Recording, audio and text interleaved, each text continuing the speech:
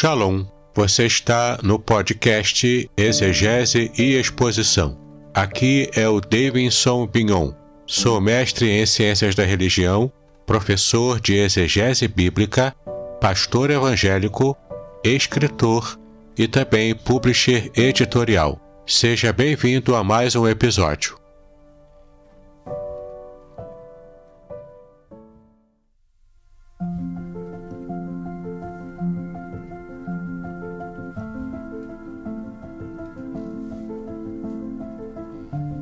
Este é o terceiro episódio da série sobre o meu livro O Cheiro das Águas.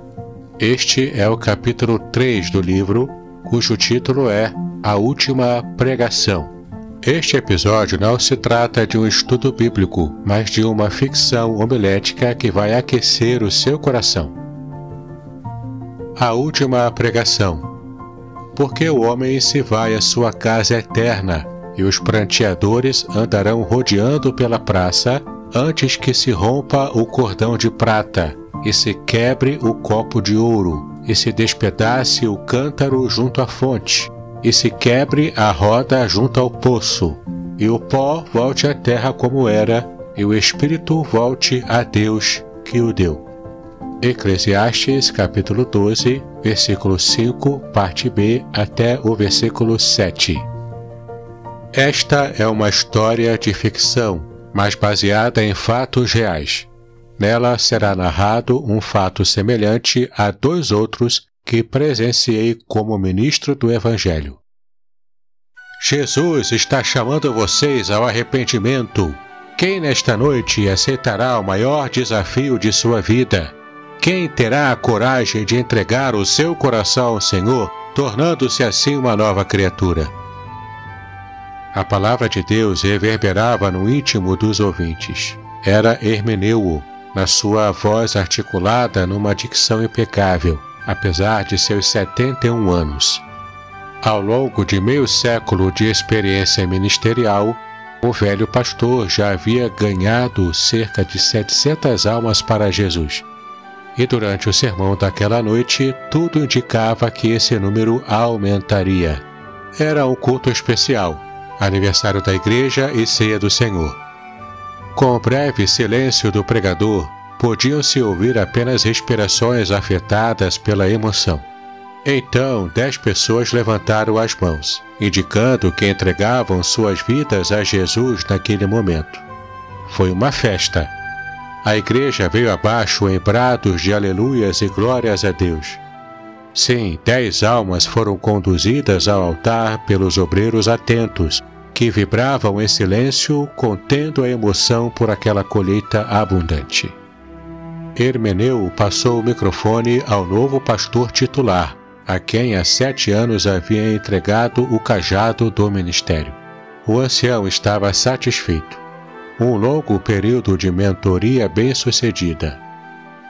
Apolo, o novo pastor, também era poderoso na palavra mas a igreja ainda sentia prazer em ver o seu velho pastor no púlpito, arrancando almas das garras do inferno. Mas também era verdade que Hermeneu estava muito doente. Há um ano ele descobriu que havia contraído câncer nos rins e lutava contra a doença. O tratamento era intensivo. O septuagenário pregador já mostrava sinais de cansaço, apesar da mente lúcida. O seu apoio de toda a vida era a esposa, a irmã Miriam. Também incansável no ministério, a anciã cuidava do marido naqueles dias penosos. Nem se passava pela mente de Miriam o que iria acontecer mais tarde. O pastor Apolo anunciou um número musical antes de iniciar a cerimônia da Ceia do Senhor. Uma irmã jovem e muito bonita recebeu o microfone e iniciou o solo. No auge dos agudos da soprano, o pastor Hermeneu sentou-se. Contemplava diante de si a mesa com a ceia preparada. Aos olhos da igreja, o ancião sentara-se para descansar, mas Hermeneu sentia-se mal. Foi quando, ao fitar os matizes carmesins do cacho de uvas à mesa, a vida passou-lhe como um relâmpago em sua mente. O velho pastor lembrou-se da infância pobre no interior de Capitão Poço lá no estado do Pará. Lembrou-se também da juventude passada no Rio de Janeiro, do seu chamado ao ministério pastoral com apenas 15 anos de idade. Lembrou-se também do primeiro beijo em Miriam, a jovem loira e tímida por quem se apaixonara muito cedo na igreja dos pais, no Rio. Lembrou-se ainda dos anos de estudos no seminário teológico e sua ordenação ao ministério e o modo como suava em bicas durante o sermão de prova diante de tantos pastores e mestres. Enfim, um filme se desenrolava na mente de Hermeneu, até que a fita parou naquele momento do culto em que o velho pastor respirava agora com dificuldade. O pastor Apolo estava de olhos fechados, navegando nas ondas musicais. Hermeneu afundava na cadeira confortável, remexendo o velho quadril em busca de uma posição que lhe facilitasse a respiração, mas não a achava. O desespero já tomava conta da alma, mas o seu autocontrole era admirável, pois o semblante não demonstrava sua intensa agonia. O solo terminou. A igreja glorificava a Deus. Os novos convertidos já haviam sido conduzidos ao gabinete pastoral, onde seriam orientados pelo pastor. O culto se aproximava do fim. A irmã Miriam fez a sua oração. Quando abriu os olhos, percebeu que algo estava errado. Muito bem, estou interrompendo este episódio para estar falando para você sobre como conseguirá mais material como este para o seu enriquecimento bíblico. Eu, portanto, quero convidá-lo a conhecer os meus cursos gratuitos na plataforma Udemy. Há também o meu curso muito especial Introdução à Exegese Bíblica. Há um valor muito especial e que eu tenho certeza de que abençoará muito a sua vida pois você poderá aprender o método que os profissionais da exegese usam para que possam fazer estudos bíblicos muito avançados. O curso é simples, direto e sem rodeios. Clique no link que está na descrição deste episódio para que você possa assistir a uma aula degustação e conhecer mais sobre este curso maravilhoso. E caso você queira ampliar os seus estudos gratuitamente, eu tenho um grupo do Telegram chamado Exegese e Exposição e ainda o meu canal do YouTube, onde você pode assinar, clicar no sininho para receber notificações de novos materiais em vídeo que eu coloco ali todas as semanas. Agora você poderá voltar a escutar este episódio.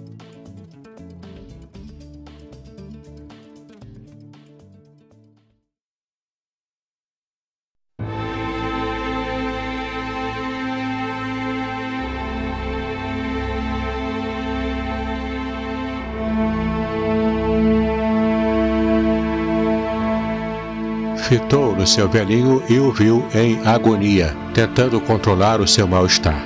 Rápida, a anciã correu ao púlpito, subindo os três degraus que davam acesso ao altar. Chegou a tempo de ver os olhos do seu marido contemplando o teto e balbuciando só para ela: Veja, Miriam, anjos, são lindos. Miriam não viu anjo algum. A igreja inteira estava em silêncio. Apolo percebeu o que acontecia e já estava requisitando os oficiais eclesiásticos para que chamassem uma ambulância. O velho pastor precisava ser socorrido. Respirando ainda com dificuldade, Hermeneu ficou em silêncio, mas os seus olhos não traduziam desespero, refletiam sua paz interior, uma serenidade sem igual.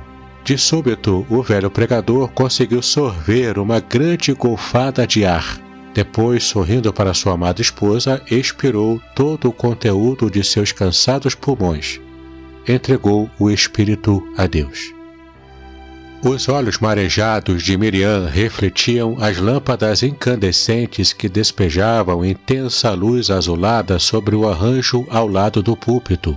Ainda assim, ela pôde ver numa fração de segundos um filete prateado, etéreo, desprender-se sutilmente da boca de seu marido e ir serpenteando até o teto da igreja, dissolvendo-se ao tocar a abóboda. Nesse instante, Miriam sentiu como se o chão ruísse sob os seus pés.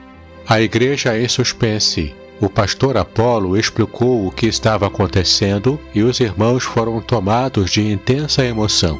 Alguns choravam alto, outros sussurravam para seus vizinhos perguntando sobre a natureza daquele estranho momento. E como resposta, a igreja começou a cantar o trecho de um hino que o velho pastor gostava. Manso e suave, Jesus convidando. Miriam chorava baixinho, resignada, quando os paramédicos chegaram providenciando a remoção do pastor Hermeneu. O fiel servo do Senhor jazia inerte na maca, mas de uma coisa Miriam sabia: o seu amado esposo havia partido para a maior aventura de sua vida, atendendo desta vez ao último chamado do seu Senhor. Surpreendentemente, os fiéis não se dispersaram. O pastor Apolo conduziu o restante do culto com a igreja em total sintonia espiritual. Todos estavam em ardorosa adoração e confissão espontânea de pecados. Os oficiais que permaneceram no templo, agora concentrados, retomaram suas funções, posicionando-se ao lado do pastor Apolo. A ceia foi servida aos irmãos. Nunca houve um culto como aquele. No momento em que tomavam o vinho, uma luz suave, dourada, invadiu o lugar. A glória do Senhor se manifestou de forma visível. O pastor Apolo não se continha. Ajoelhado, dava brados de louvor e adoração a Deus. Sua oração era como incenso que exalava plena comunhão espiritual. Todos os componentes do ministério de louvor, os que ministravam e cantavam, até os instrumentistas se ajoelharam atônitos. Ninguém ousava pegar no microfone. A igreja ardia em uma fé espontânea. Os dons espirituais jorravam. Abundante era o banquete espiritual à mesa do grande Deus. Longe dali, no mundo etéreo, Hermeneu flutuava. A sua consciência simplesmente deslizava no ar. Não estava mais limitada ao invólucro de sua carne. Já não havia dor nem pranto. Ele nem precisava mais sorver oxigênio para manter o seu corpo vivo. Hermeneu estacou. Tinha agora diante de si portões prateados e ruas douradas logo após eles num resplandecente mosaico de cores vívidas que realçavam sobrenaturalmente a beleza daquele novo lugar. Uma felicidade que jamais sentira em vida se apoderou de Hermeneu. Foi quando os portões se abriram, refletindo partículas de luz prateada. Hermeneu viu um homem brilhando como a luz do sol ao meio-dia. Suas mãos delicadas, traspassadas há tanto tempo, se estenderam num gesto convidativo. Vinde, bendito de meu Pai. Hermeneu aceitou o convite. Em breve participaria da ceia mais importante da sua existência. Chegamos ao fim do episódio e espero que você tenha gostado dessa história. Ela, é claro, é ficcional mas ela trata de uma esperança verdadeira que infelizmente muitos cristãos hoje deixaram de ter. Trata-se da esperança da nova vida celestial. Espero que essa história tenha ajudado você a refletir sobre a sua condição eterna.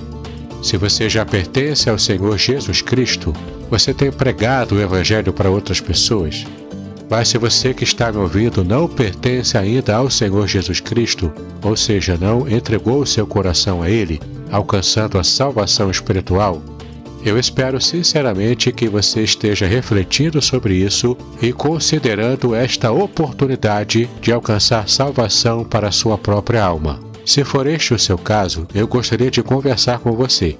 Basta fazer contato e eu terei prazer em ajudá-lo nessa nova fase da sua vida espiritual.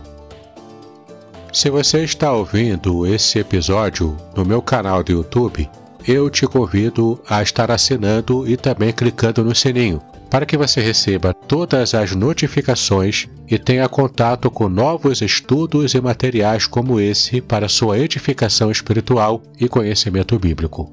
Ah, e se você gostou dessa história, Curta o vídeo, compartilhe com seus amigos. Eu realmente preciso que você me ajude a fazer esse meu canal do YouTube crescer. para que muitas outras vidas sejam abençoadas com o conteúdo que eu coloco aqui todas as semanas. Que Deus abençoe os seus estudos, paz e bênçãos sobre a sua vida.